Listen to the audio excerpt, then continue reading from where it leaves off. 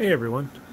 I realize it has been quite some time since I've done really a video of any sort. So I've decided I'm going to show y'all how to make a bucket swamp cooler. And there's tons of plans out there, but some of them don't really detail it all that well or they don't get they don't get the best selection of parts. So I've done a little bit of digging on my own. And I think I've come up with something that'll work. Um, first up, Got a five gallon bucket. I know it's from Firehouse Subs. They're two dollars. I like eating there. Bucket was there. I needed a bucket. Downside is this air conditioner may end up smelling like pickles, which may or may not be a bad thing because I like pickles. Um, some of the instructions use a coupling glued to the top of the bucket. I'm going to try using a 4 inch toilet flange. So that'll just yeah pop on by right there. Uh, got a random stump, a four inch PVC pipe. I'm gonna cut it off about all oh, about that long, maybe three four inches.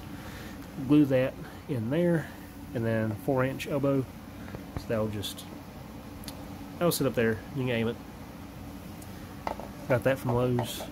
Uh, got a Duracool pad. It's like 36 by 36 or something close to that from Lowe's. Um, dig on Amazon. Got some kind of crazy high output fan. I think this is 240 CFM or 400 CFM. It's a pretty high output fan. Piece of 3 8 ID hose and a 3 8 uh, barb tee. Obviously, PVC primer and glue. I got a uh, wall adapter, so I can go from 110 to 12 volts, 5 amps, 5 amp output. One thing I did get is it has a bullet or a barrel connector on it, so I can unplug the power supply from the output cord. Picked this up on Amazon, a uh, power plug adapter with a barrel plug so if my figuring's right and I've laid everything out correctly, I'll be able to plug this into a wall or into a vehicle power port. It'll draw, should draw like three and a half amps. And I got a little, a water pump. Let's see. Yeah, 3.6 watts, so yeah, I'll be well under three and a half amps or five and a half amps full power. I think three amps. What did that fan say? Yeah, three amps. So I'll draw three and a half amps for this whole setup. Anyway, what we're going to do is uh, I'm going to get my hole saw. I'll poke a bunch of holes around the bucket and we'll lay that out. And I'll come back. And I, everybody just loves watching people drill holes and fumble around with the drill bits. I'm going to skip all that. Then I'll come back when I got holes in it. And you can see what I have going on. And we'll start working on putting the pad together. So I'll be back in a minute. Yeah, once I'm done, we'll see how it runs. And in the video description, I will have links to everything that I bought, except that random stump of pipe. That came from my dad's house. Um, probably any plumber will give you a cut off piece but anyway, I'll be back in a little bit with a bucket full of holes. Alright, I'm back partway through this hole drilling process. I looked at the hole saws I had laying around and I decided I'm going to use a uh, two and a half inch hole saw and there's my bucket. It is 35 inches in circumference. So two and a half inch hole saw I'll leave a one inch gap between holes. That gives me 10 holes. So to make it easier on myself, I went ahead and wrapped tape around here, marked all my holes, and uh, we use tape that way if I had to do it over. It's not scribbled all over the bucket. Anyway, drilled some pilot holes. So there's, see, there's 10 holes going around there. So I'm going to take tape off. That way I don't have to pick off little bits of it. Drill the big holes, and I'll be back. And uh, just so you know, yeah. it definitely smells like pickles. So could be an interesting air conditioner. Anyway, I'll be back in a minute once I have all of the uh, big holes drilled. Hey everyone, I'm back. So got 10 two and a half inch holes drilled in the bucket. I think that'll be should be enough. If not, it won't be that big of a deal to come back and drill again. Inch hole, inch and a half hole here down here kind of skip, make them look nice. So, that's done. Set that aside. What I'm work on next is getting the toilet flange I bought to fit the lid. Um, I'm lay the lid up here. I know, it's upside down. We'll go on the.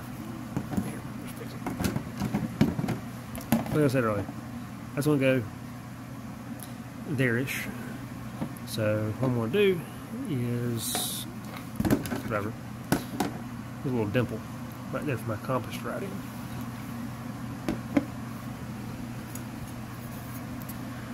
see. You can see it's rolling or not. It's four and a half, roughly. So I'm going to set my compass up and use the little dimple from casting on my compass. I'm going to mark out the center for a four and a half inch hole. May or may not cut that tonight. May save it for tomorrow night.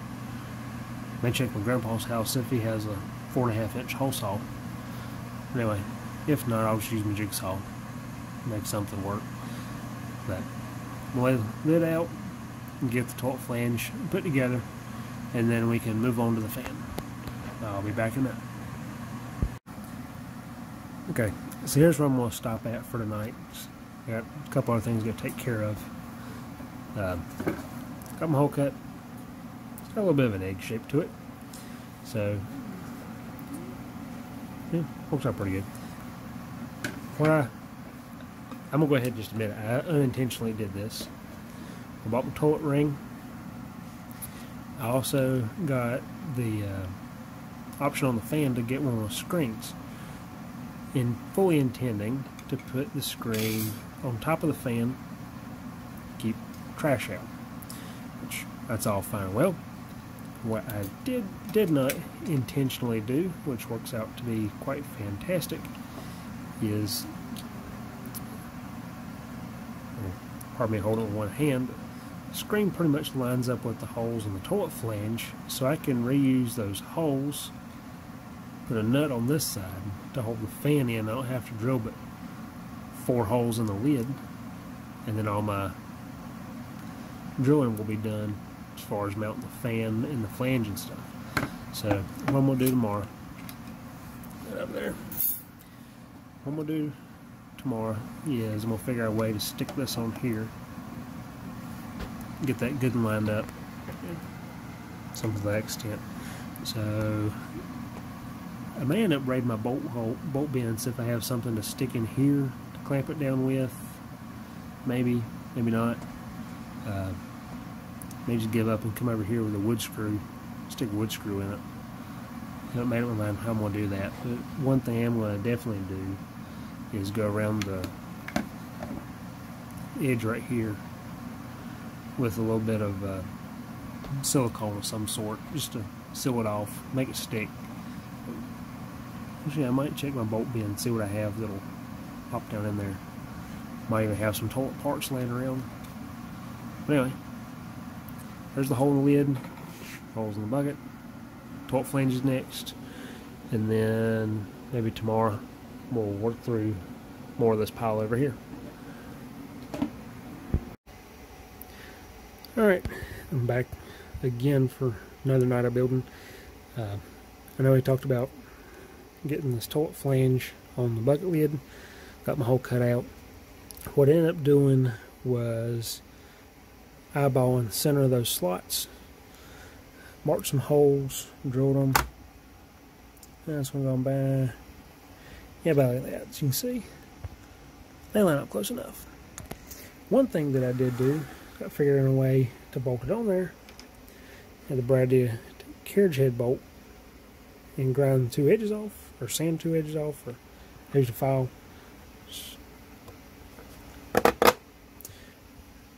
So that drops right in there. Doesn't turn too much. So I'm gonna drop a bolt in all these other four holes. yeah, it's close enough. So we'll we'll float to it. Can see center lines up well enough. Um, I'm gonna take that back off there. I'm gonna coat the inside of this. Get out of there. I'll put a bit of silicone around here. Flip that over, bolt it down, get it good and snug, and we'll move on to mounting the fan. So we'll be back in a few minutes. So bolting down the toilet flange didn't go exactly as planned. My lid had a little bit of a sag to it and it buckled up so what I'm doing is I found a random block I had laying around put that on top of there and I found a pretty heavy tool set. I sat down there for a clamp so I'll let that dry overnight. So what we're going to move on to now is putting the Duracool pad in the bucket. It's a piece I bought is 30 by 36. I got it on Amazon. Uh, I've already measured the circumference of my bucket down here at the bottom. The tapers, so I'll measure down here. Uh, I'm to cut it just a hair shy at 32 and a half. And as far as height, kind of eyeball it somewhere around this so I'm to make it 12 and a half tall. That leaves a you know, inch and a half of headroom at the top. Because eventually what we're going to do is take this hose and make a ring. And that'll sit in up here on top. And then you got to leave a little more space for the lid to snap on. So, in worst case, the, the hose has too much room. Got to hot glue it to the tub or more silicone. Somehow get creative and stick that on there. But anyway, we're to cut Duracool pad 32 and a half by 12 and a half. And then I will cut a second one to go in there. So we'll end up with one pad around the perimeter another pad inside of that and then right here in the middle we'll put down the pump. Uh, I gotta figure out how to stick the pump down the best way because it came with this dinky little bracket. So I gotta work that out still may just epoxy it down or uh, hot glue might be the way to go. But definitely not drilling a hole in the bottom of my bucket. I'll figure that out when I get to it. Be back in a minute after I've got this big old pad cut down. Okay, got the first piece of pad cut. Uh, so I ended up coming back and cutting another half inch off so it is 32 inches long ish pretty close to that. You see it tapers down into the bucket. Fits up pretty nice to the holes. Um, if it ends up being a problem so there's be water running through this. It ends up being a problem. I have enough slack in there that I can put like a dowel or a piece of plastic or something to space that off back a hair or might just be spongy enough to do it. Uh, one thing the instructions I was looking at said was to uh, hot glue this gap together. Wasn't sure I needed it first, but I'm gonna go back and do that. To, so I'll pull it up some. So measure the bottom. It's eight inches across. So I will, you know, eight times pi gives you 25 and an eighth. So the other piece right here, I'm gonna cut it 25 and an eighth. Uh, I'm gonna show you the way I'm cutting this is I'm going to come off that end and then I'll take my level and mash it down tight to the floor. And I got a box cutter. I'm just running down the inside of my level.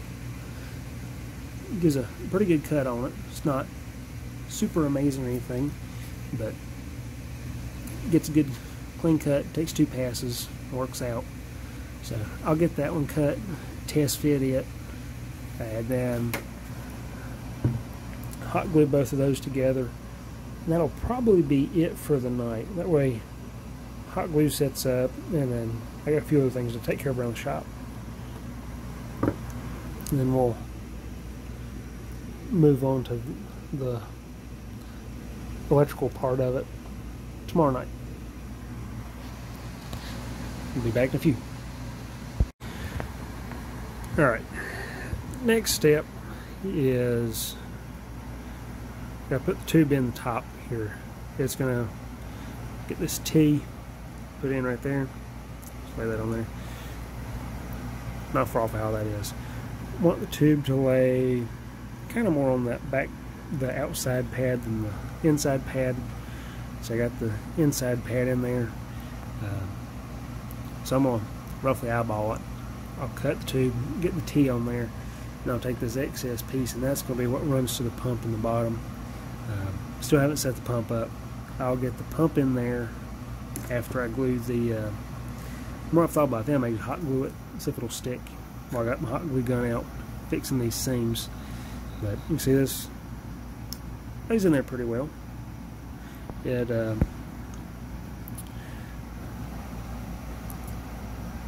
seems like it, it's going to go together all right. The magic number on this inside pad ended up being 23 inches, not 25. There's a little gap here at the top, but that ain't to hurt anything.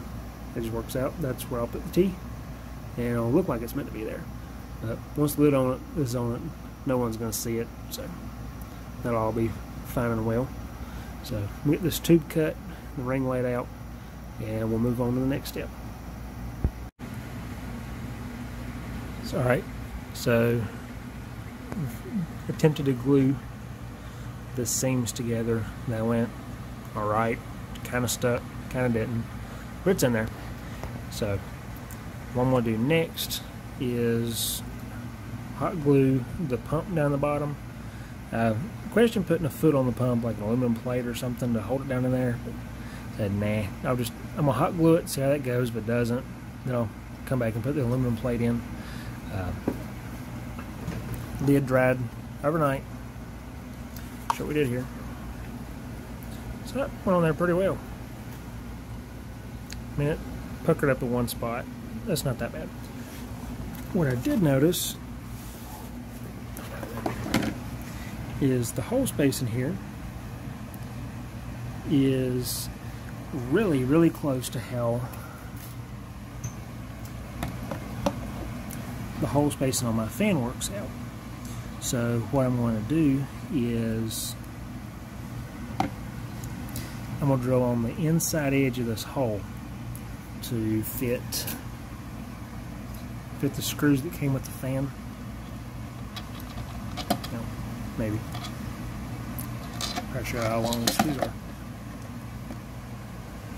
They look like they're going to be long enough. If not, I'm going to drive right by Lowe's tomorrow. I'll go get some more. Uh, look like they're M4.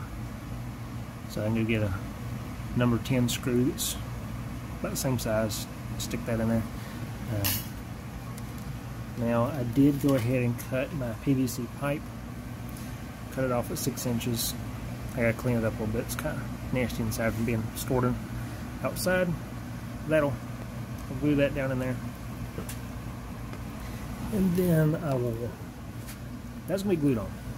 The elbow there, it's just gonna sit on there. So if I feel like taking it off or doing something different or trying to put a like a duct to go into a tent, something fancy, that'll work out. Uh, did test the fan out the other night. It moves a ton of air. It's going to be fantastic on there. The next thing I got to work on is the loop here. I'm going to start right here, put a hole. I'm to go every inch around it, put a hole on it. Uh, take a lighter or a torch, and we use a uh, end off a wire coat hanger, poke holes in it, see how that goes. See how heat that up, stab in there, just work my way around it. Then I'll this will lay in on top of the the pad. Also, this little pump that I bought off Amazon, seemed like a bargain, like eight bucks, nine bucks. Advertised as being a three eighths of an inch outlet. It is eight millimeters. So yeah, if you want to, you can see how well that tube fits. Just not at all. So I'm going to put a uh, improvise slap a hose ring on there, and make it stay. And I'll be back in a few minutes after I get the holes poked in this uh, hose and get the hose on the pump. I'll get the pump glued in and I'll show you how that's coming along. Alright, so we're on night four. I know I could probably built this in the afternoon, but if I do half an hour here, hour there, kind of goes together. I have some time to think through things or run the Lowe's if I need to. So, got the holes drilled. This is glued together now. pipe glue.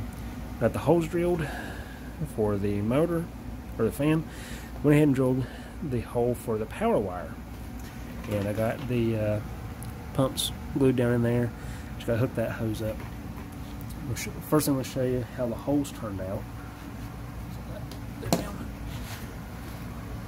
Just took a torch and a piece of a coat hanger and torched all these holes in there. They're about 330 seconds, give or take a little. A silly phone focus. So you can see there's holes all the way around that tube, so we'll see how that works a little bit. And so I got to hook the hose up. That just lays in like that. Nothing fancy. They shoot straight down into the mat. Inner mat should absorb some of that. But yeah, I'll get the tube there hooked up, see how it lands. Might have to put a dab of hot glue or something on it. Uh, we'll talk about this power supply I bought a little bit. Regular brick power supply, 110 in, 12 volt, 5 amps out. Uh, it's a center positive? Yeah, center positive barrel plug. The reason I bought it it came with these.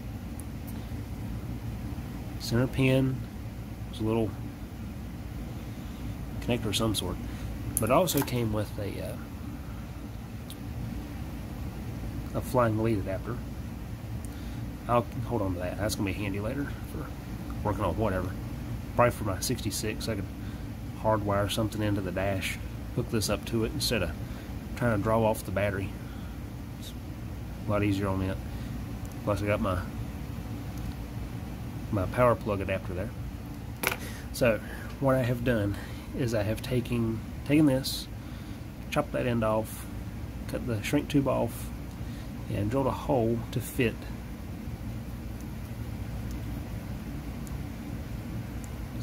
just fit about right there. Went ahead and poked a, I think it was a 5 16 hole. Poked that hole in the lid, stuff that in there like that. So on the back side, holding this lid.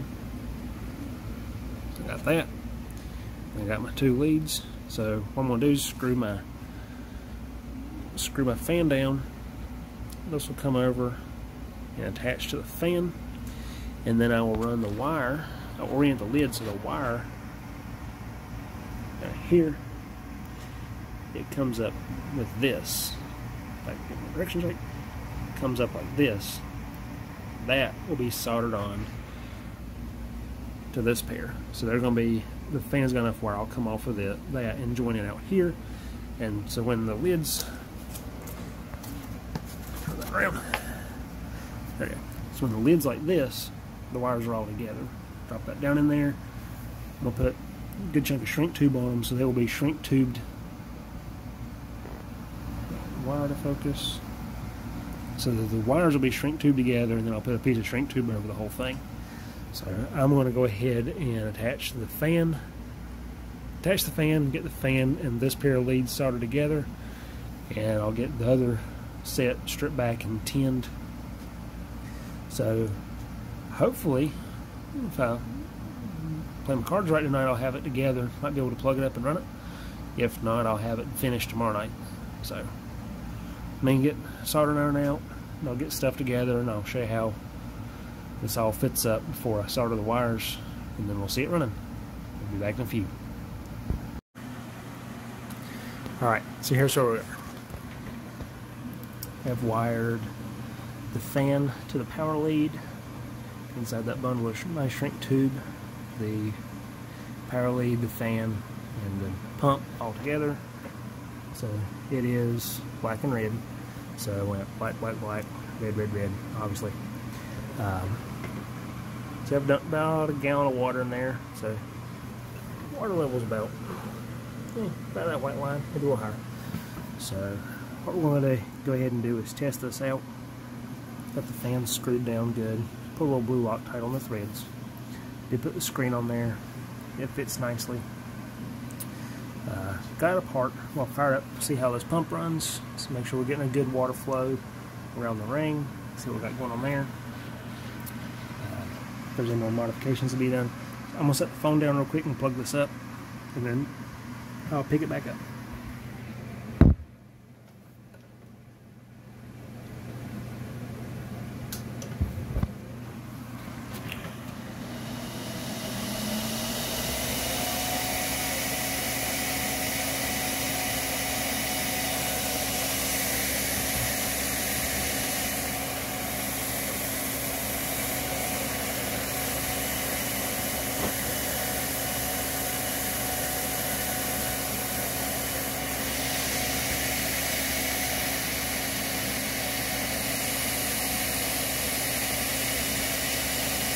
it's doing something.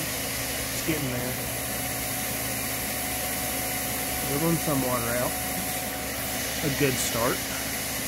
It'll take a little while to push all that air out. Maybe one of those things, just have to run it some. Let's see. Putting out nice air. So, I'm to set this down. Stick the lid on there. And we'll see how it all feels. Here's where we are. It's not super cool yet, but you can feel it pulling air. Uh, man, I may end up having to go back and close up some of the holes on that pump. It is definitely cooler. That's going to be nice in the shed. A little hollow, loud, but actually of chilly now. Uh, dribbling water out of one of these holes. Yeah, there's one. Running water out of that one.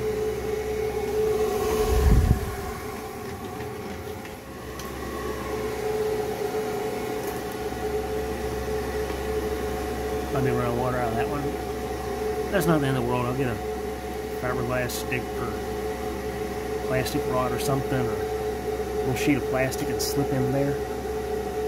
Something to keep it back. Honestly, this is going to live in my shed when I'm working on lawnmowers and stuff. Because today it's been kind of nice. It's been about 80 here today. And it, uh, I think my shed right now somewhere around the 95 range. Last week it was sunny and in the upper 80s, low 90s. And 8, 9 o'clock at night, it's still 110, 115 in my shop. So, or in the shed. So, what's taking me so long to work on my 66 or any of the lawnmowers I do because it's just stinking hot out there. Put a vent fan in it, it uh, doesn't do that much. Gets good airflow for painting and stuff, but as far as cooling it off any, it just takes and replaces really hot air with hot air. So, this will be a nice addition. I think grand total I've spent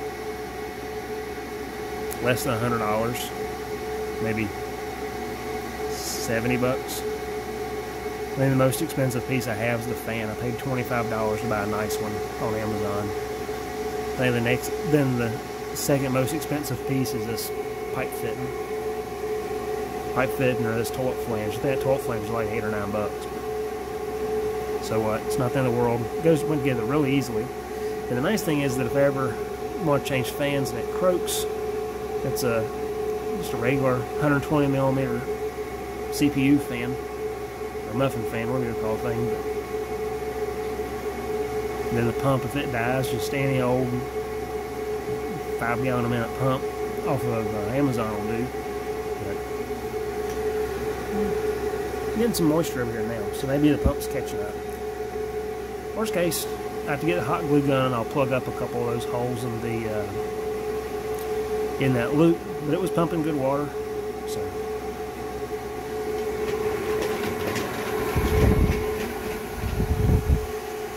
Oh nice and cool. That'd be nice blowing on me working in there. Oh, it's sloshing any more water out.